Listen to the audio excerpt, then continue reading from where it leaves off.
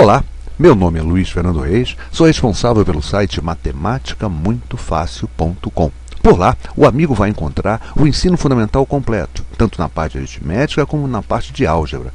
Teorias completas, muitos exercícios propostos e, o importante, muitos exercícios resolvidos. Então, amigo que está se preparando para o Enem, se preparando para o vestibular, se preparando para uma escola técnica ou para uma escola militar, o amigo está no ensino médio, precisando recordar conceitos e conteúdos do ensino fundamental, e você que está no ensino fundamental, cursando quinto, sexto, sétimo oitavo ano, não deixe de visitar nosso site. O nosso site é completamente gratuito. São mais de 200 páginas envolvendo todo o conteúdo do ensino fundamental. E é importante, é um site totalmente gratuito, você não paga nada, você vai, vai navegar o tempo que você precisar, pelo conteúdo que lhe for importante, sem pagar nada, não tem cadastro, tem login, não tem senha, não tem nada disso. Não deixe de visitar nosso site. Eu garanto a vocês que vai valer a pena. E vamos para a nossa próxima videoaula. Essas resoluções de questões de concurso, faremos uma, uma questão que nos foi enviada por uma companheira, né, lá do nosso site, uma Matemática Muito Fácil, a Mona Lisa Mício, ela pediu para resolver algumas questões para ela, e são questões já tinha resolvido uma, estou resolvendo agora uma, uma segunda questão que ela me pediu no assunto regra de três composta. Tá certo, Mona Lisa? É claro, a gente sempre que se propõe a fazer uma videoaula é porque a gente percebe que a questão realmente ela será de interesse geral. Quer dizer, boa parte das pessoas que pertencem ao meu canal, né, o pessoal do meu grupo, do grupo de. meu não, do nosso grupo de discussão matemática, é muito fácil, realmente é uma questão que interessa a cada um deles, perfeito? E a concursando de um modo geral, então vale a pena a gente fazer. Diz assim a questão, olha só. 20 operários constroem um muro em 45 dias, trabalhando 6 horas por dia. Quantos operários serão necessários para construir a terça parte desse número? Eu tenho certeza que esse dado aqui é fundamental para a resolução do problema e quem está errando esse problema certamente está errando por esse dado, por não estar incluindo esse dado no problema. Perfeito? Terça parte desse muro em 15 dias, trabalhando 8 horas por dia. Bom, e aí aqui é um complemento que ela me manda, né? O resultado é 15 como chego a esse resultado, professor? Muito obrigado por responder meu pedido de videoaula da videoaula anterior que eu fiz para ela. Né? É isso que eu coloquei ainda agora, tá, Mona? Quando a gente percebe que a questão, e no caso, regra de três composta, né, é, é um dos conteúdos mais solicitados a nível de dúvidas, né? A gente sempre com, com carinho a gente faz e a gente percebe que isso aí será útil para um grande número de concursantes. Perfeito? Vamos fazer mais essa, Mona Lisa. Diz assim a questão, olha só. Já li, né? Já li a questão, então vamos pensar montar. Vamos montar? Olha só, eu já descobri, né, que eu tenho nessa questão, eu tenho um total de quatro grandezas, né? Aí você fala, mas não tem não, professor, só tem três. Quer ver, ó? 20 operários, Olha, constrói um muro do tempo, 45 dias, trabalhando 6 horas por dia, só tem três. Né? Não tem, tem uma quarta que está omitida. Na verdade, quando eu ler a segunda sentença, a gente vai perceber isso. Quantos operários serão necessários para, para construir a terça parte do muro, gente? Então, essa grandeza, quantidade de muro a ser construído, ela existe. Ela não tá, ela não foi colocada na primeira sentença, mas está sendo colocada na segunda. Portanto, eu tenho quatro grandezas e que grandezas são essas? Olha só, número de operários, né, a quantidade de operários, o tempo do serviço, a jornada de trabalho, né, quantas horas ele trabalhou por por dia e o muro, a quantidade de muro a ser feito. São quatro grandezas envolvidas. Vamos ler então, ó, diz assim, ó, 20 operários constroem um muro em 45 dias, trabalhando 6 horas por dia, essa é a jornada, e fazendo um muro. Eles vão fazer um muro, né? Porque o outro, né, a outra sentença fala na terça parte do muro, um pedaço desse muro. Vamos ver a segunda sentença.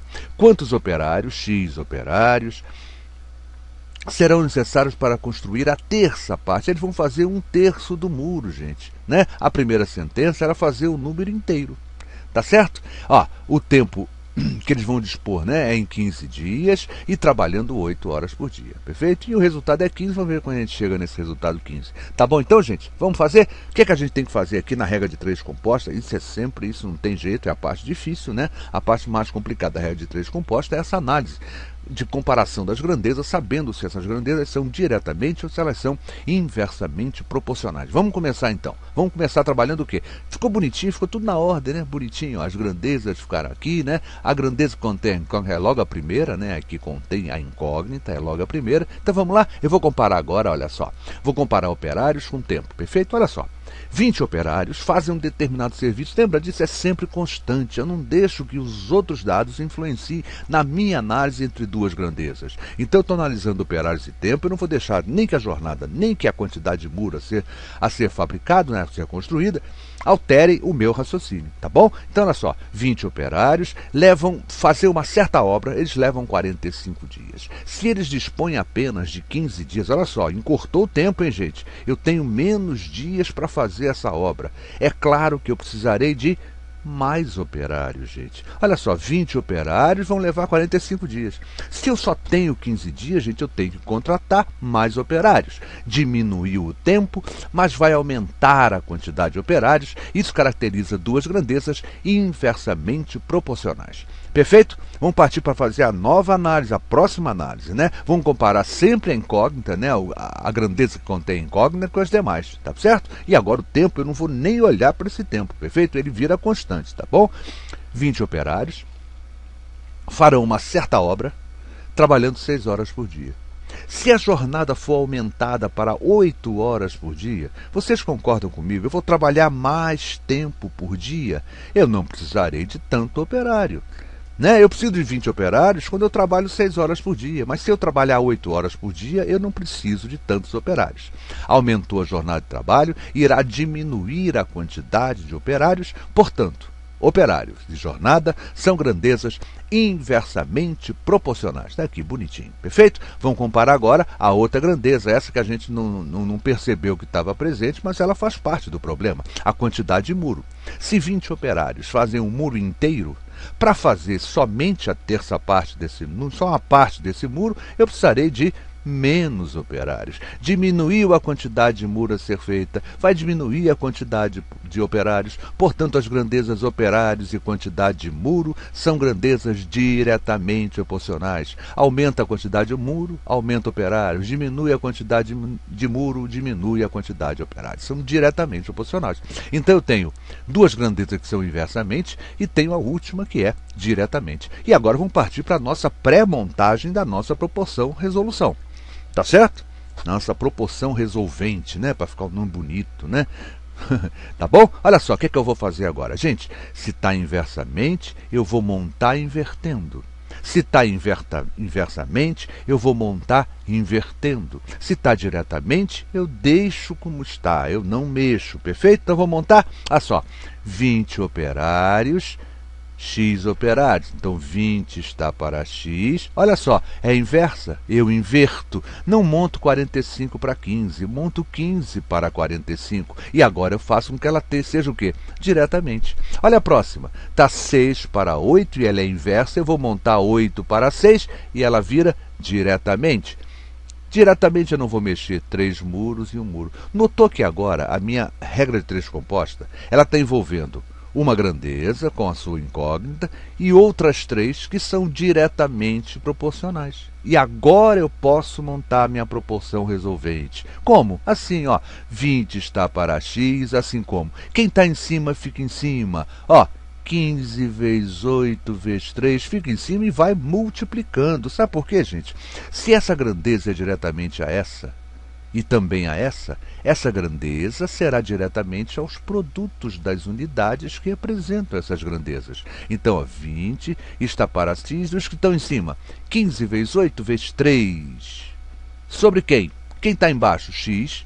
45 sobre vezes 6 vezes 1. E aqui cabe uma explicação, mas que doido, que doideira é essa? Gente, olha só. Para evitar o negócio de fração, é sempre complicado a gente trabalhar com fração. Olha o que eu fiz. Vocês concordam que tudo se passa como só, o cara aqui, ó, faz um muro e aqui faz a terça parte de um muro. Vocês concordam que tudo se passa como se a primeira sentença fizesse três muros, três vezes mais do que a segunda? Então a, a, a primeira sentença faz três muros, enquanto a segunda sentença faz um muro. Vocês concordam que a relação é a mesma? Três muros. Um não é a terça parte de três muros?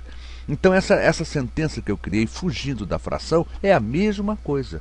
Quem fala um muro e a outra fala um terço, então é aquela história, né? Um está para um terço, assim como três está para um.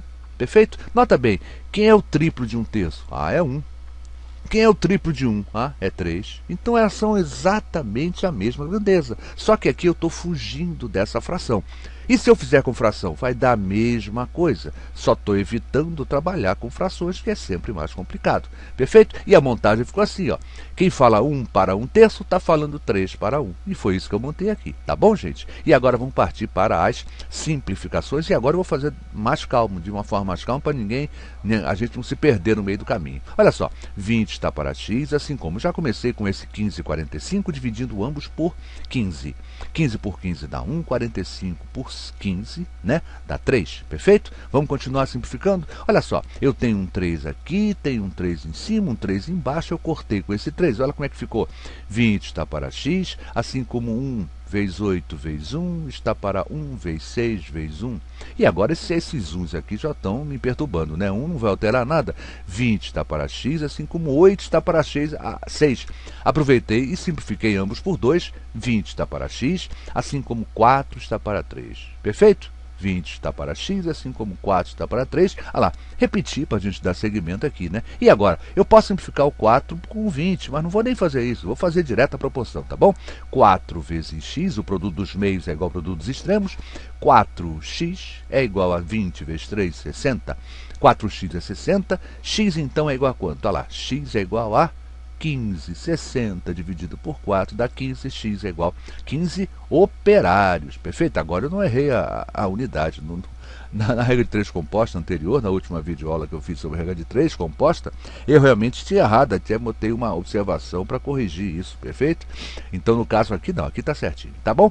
15 operários. Perfeito, Mona Lisa? Mais uma questão de regra de três composta. Perfeito, Monalisa? O importante mano, é você olhar essa questão e ver se você consegue entender. É fundamental. Quer dizer, é, eu estou sempre aqui pronto né, para ajudar quem necessitar. Agora é fundamental que você comece por você mesmo, né? Isso vale para todos os concursantes, todos os amigos que estão vendo essa videoaula. Que você tente sempre fazer você. Você só estará aprendendo quando você sozinha conseguir fazer a questão. Porque aquele negócio, na hora da prova o professor não está lá, né? Na hora da prova você tem que fazer. Então é importante que você comece a fazer, procure ver os mais simples. E aí, em qualquer livro, onde você con con conquistar na própria internet, você tem uma série de livros, na minha apostila você vai ter. É importante que você vá subindo o degrau. Normalmente os exercícios estão colocados na ordem, né? De importância, vai um degrauzinho, né? As mais fáceis são as primeiras e as mais difíceis são as últimas, perfeito? Vai aos poucos tentando resolver e tal. Quando for uma dúvida muito grave, a gente então procura resolver, tá bom? Tá certo? Então, analisa isso vale para todos os companheiros concursantes, tá bom? Bom, quem nos falou? Professor Luiz Fernando Reis, responsável pelo site matemáticamuitofácil.com. Esse assunto específico, regra de três composta, está em nosso site, muito bem explicado, vale a pena a sua visita. Gostou da videoaula? Não deixe de se inscrever em nosso canal Matemática Muito Fácil, né, atualmente chamado Canal Luiz Fernando Reis, que é o nome desse amigo que fala com vocês, para ficar essa rima bem idiota, né, para ficar um pouco diferente, engraçadinho. Não sei qual é a graça, mas pelo menos eu acho bonitinho falar esse Luiz Fernando Reis, este amigo de vocês. Tá certo? E dessa maneira você poderá ser, ser notificado sempre que nós postarmos uma nova videoaula. Então você clicando nesse link aqui, né? O, o YouTube abre uma página para você e quando você vai efetivar sua inscrição, ele vai te dar a opção e uma delas diz o seguinte: Quero ser notificado quando forem postadas novas videoaulas. Então, sempre que o professor Luiz Fernando postar uma nova videoaula, o YouTube vai comunicá-lo por e-mail que tem mais uma videoaula à sua disposição. Obrigado pelo carinho, obrigado pela atenção. Espero que os amigos tenham compreendido essa questão, tá certo? E aquele negócio, regra de três composta é treino, gente, é treinar, é fazer. O, qual é o segredo da regra de três composta, né? É essa análise de se é direta ou se é inversa. E, e ter cuidado se nós estamos usando todas as grandezas possíveis. Em regra de três composta, não tem dado supérfluo, não. Tá? Esse um terço que está nesse problema não é supérfluo. Você vê que ele participa ativamente no problema. Gente, até a nossa próxima videoaula.